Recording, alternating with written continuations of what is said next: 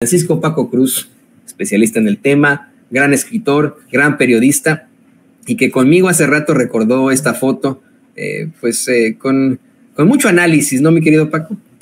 Ah, mira, Toño, ¿cómo estás? Buenos días, un abrazo primero.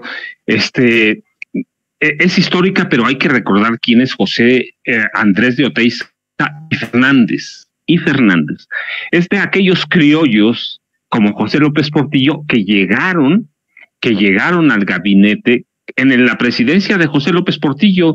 Él era secretario de Patrimonio y Fomento Industrial en el gobierno de José López Portillo, que fue uno o que ha sido uno de los más corruptos. Y mira que hay, hay que decirlo, ¿no? Va rivalizando con Peña Nieto. Eh, eh, y está al lado de, de, tienes tu razón, de Gerardo Ruiz Esparza, que es otro de los, ya se murió, pero era un tipo tremendamente corrupto.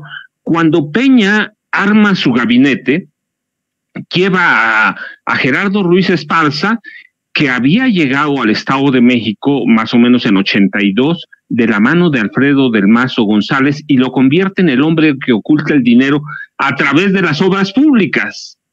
A través de las obras públicas, ahí que tienes una historia de corrupción de, de, de, de cientos de años de cárcel. Alejandra del Moral Vela, Enrique Peña Nieto, cuyo sexenio fue una locura en la corrupción, y José de, André, de José Andrés de Oteiza y Fernández, que es, es, parte de la alcurnia, de la sangre azul de este país, pero que robaron lindo en el gobierno de, de José López Portillo. Y recuerdas, en 2015, en mayo más o menos fue, se divulgaron una serie de conversaciones de, de funcionarios, de ejecutivos, porque no son ejecutivos de OHL, este grupo español que mencionas, pero él era el titular de OHL México, y en esas conversaciones involucran a Dioteiza con pagos ilegales, pagos irregulares a magistrados para obtener sentencias favorables en casos que tenía OHL en México.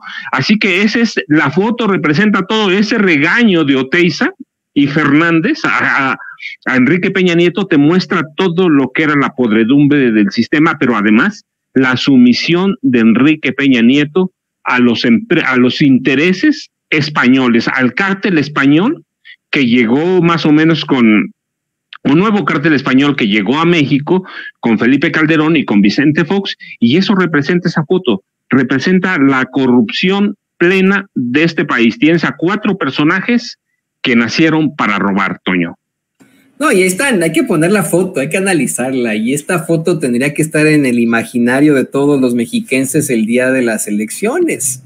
Ahí está, como bien dices, exhibida la realidad del Partido Revolucionario Institucional en el Estado de México. Como es que, en efecto, tienen mucho poder, pero están agarrados por el empresariado, por personajes muy, muy oscuros que vaya que han robado, como mencionas, junto con estos personajes. Algo que se le critica muchísimo a Peña es haber dejado al país en la ruina eh, mientras entregaba grandes concesiones y grandes situaciones a los empresarios a costa de todos los mexicanos. Es decir, en este paquete de reformas estructurales eh, se plantea cómo es que, eh, pues vamos, entregó recursos de la nación por cacahuates, mientras él sí se enriquecía junto con su gabinete.